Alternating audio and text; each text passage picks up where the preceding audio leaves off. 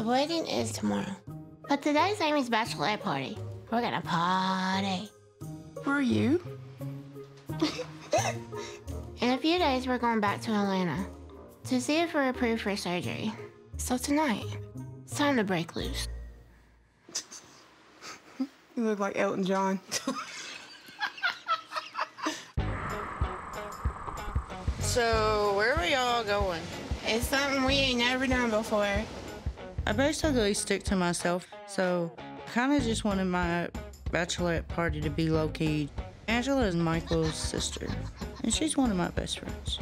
Oh, Lord, don't take me no skydiving and Oh, no, no, no. Girl, I'm too fat for that. that.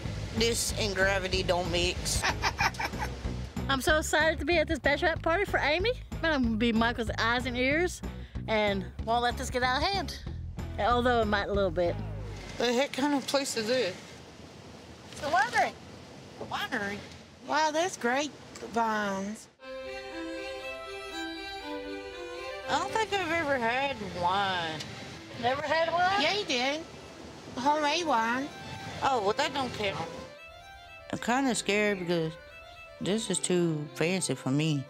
Do I have to eat with my pinky out? Hello, ladies. Hello. We put some uh, food on the table.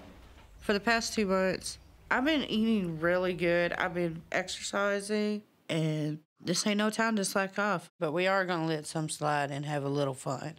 This is our calamari. Also, you have on the table already some bresaola, lomo, a duck prosciutto, and gouda.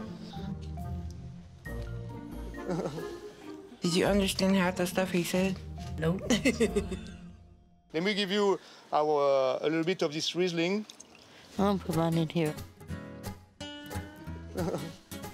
I'm at a winery, and I brought my pimp coat. I have no clue what was going through the waiter's mind. Probably wanting us to leave. you see? you seriously drinking it out of the straw? We have a few wine. So this one is going to be even harder. It's going to be dry wine. It's old vine Zinfandel. There she goes. You don't chug it. The first try wine, it was really strong. The second one was nasty. it needed lots of sugar. And then the third one, it's just supposed to swirl it. It was good.